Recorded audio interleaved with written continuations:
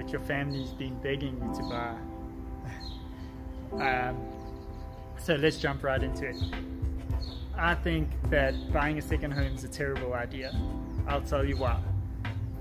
Um, first of all, they're really expensive luxury homes generally, and um, they are beautiful. That's why you're buying them. You want to buy them because you feel that you know it would be great to spend time with your family and go on vacation and all of those awesome things. And I do really value time with family, and I think that's really important.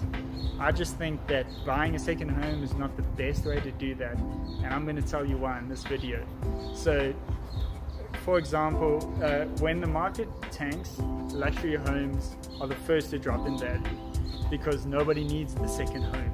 And generally, these second homes are in areas where all the homes there are second homes. So when the economy tanks, what's the first thing you do? Well, let me just drop this